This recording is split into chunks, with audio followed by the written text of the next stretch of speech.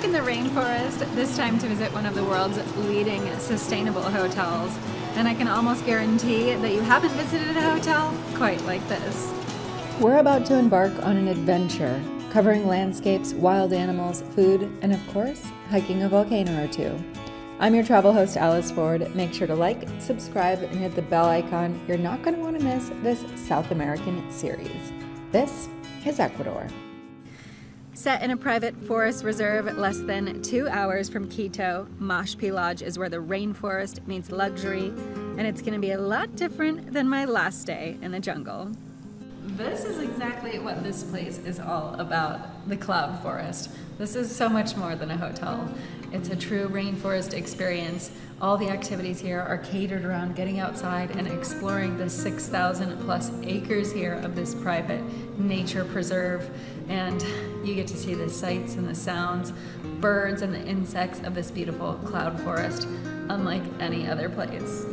A cloud forest is higher in elevation than a rainforest with frequent low-level clouds and completely different biodiversity that relies on consistent rainfall, so it's no surprise that there's a lot of it at Mashpi. Mashpi was built with all the modern conveniences that you need, but the real reason you come here is to experience what's outside. The hotel has many different walks and adventures to choose from, from birding and waterfall hikes to soaring over the forest on aerial trams and sky bikes. So after getting outfitted with some rain gear, it was time to explore. Rubber boots and rain jackets are provided for daily adventures, but there's also forest elephant ears in case you forget. One of the really unique things here at Mashpi is getting to experience the cloud forest from literally up in the cloud forest. Right now I'm on one of the sky bikes here, which takes you about 200 feet above the forest here. It's raining right now, but we're in a cloud forest, so who cares? The Skybike is such a unique adventure because most of the biodiversity in a cloud forest is actually in the top layer of the trees, but this is a place people rarely get to experience. The cloud forest here is so beautiful. Even when it's raining, it's also full of waterfalls, and that's just where I'm heading right now.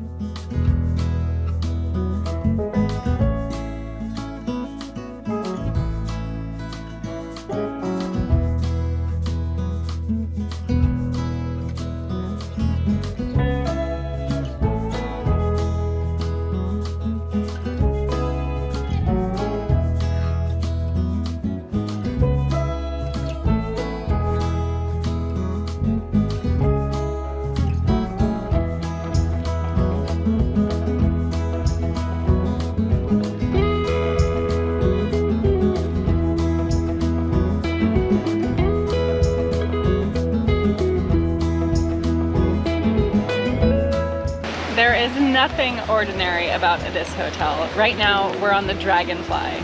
This is an aerial tramway suspended 200 feet above the forest floor that's gonna take us back to Mashpi Lodge. It's not just farm to table here, it's forest to fork. Almost all the dishes here on the menus, which change daily, are from the local surroundings. They even have a vegan menu with some really tasty selections. Some of the best food I've had in Ecuador so far. Mm. One of my rules on vacation, you should always eat dessert.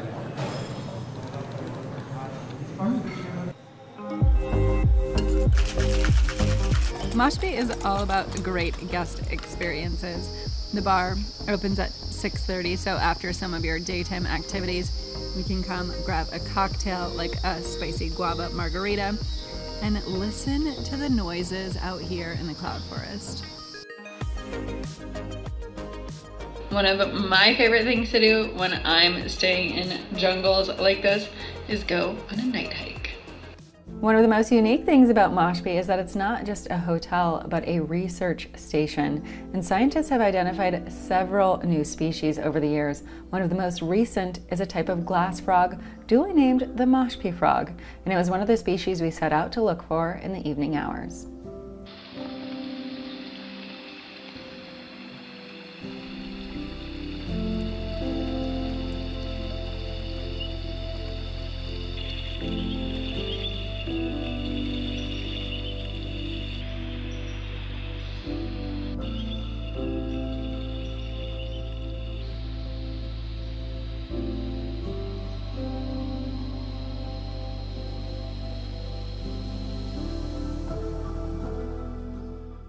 When it comes to sustainable hotels, this is one of the best I've stayed at. It actually was built on top of an old lumber mill. And it might surprise you that this lush nature reserve that we're looking at now actually was clear cut a long time ago, parts of it, anyways. When Mashpi started construction here almost 20 years ago, they actually bought about 3,000 acres of this old lumber area they replanted a lot of the trees, they built the lodge, and they've been inviting people to come and visit this area ever since. Now, now they have more than 6,000 acres. It's all protected by the government in an actual nature reserve, so no one else can build in here, no one else can develop it or log it ever again. And they actually didn't have to cut down any trees when building this place because they used the same footprint that existed before. Two critters you won't miss here at Mashpi Lodge are butterflies and birds. Right now we're walking over to the hummingbird garden to get a closer look.